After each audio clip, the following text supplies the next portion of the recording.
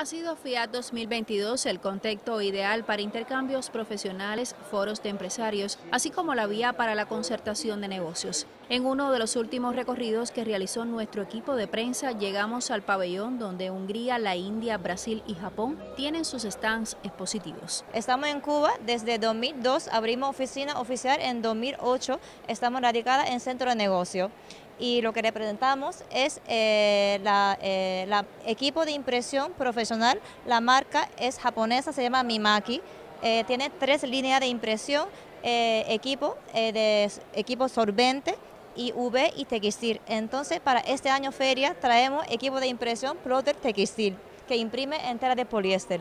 La más importante productos de piezas respuestos para motocicletas, eh, compresores eh, de aire comprimido para la industria, tenemos motocompresores, eh, equipos de jardinería Honda, tractores, chapeadoras para los hoteles de Gaviota, tenemos equipos de un, cosméticos, vitaminas, la otra empresa de generadores y varias máquinas para panaderías, dulcerías, empaquetar productos. El otra empresa de, de trabaja la tema de tecnología de televisor y, también eh, productos para la medicina. Estamos acá em Cuba pela primeira vez. É, já exportamos alguns produtos para cá, como pollo, é, cerdo, Estamos hoje aqui para ampliar as negociações, as perspectivas de negócio com Cuba.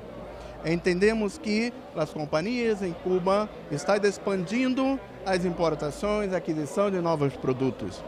Representamos um grupo de cooperativas de carne de Brasil, com preço muito competitivo. Teremos lá o setor da área da construção, teremos eh, móveis, vamos dizer assim, para hotéis, sapatos, bebidas, eh, jugos.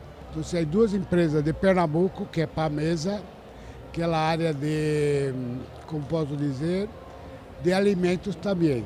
Con múltiples opciones para negociar en varios sectores económicos, se afianza Fiat 2022 como una importante bolsa comercial en el área de América Latina y el Caribe. Mayelin del Sol, Sistema Informativo de la Televisión Cubana.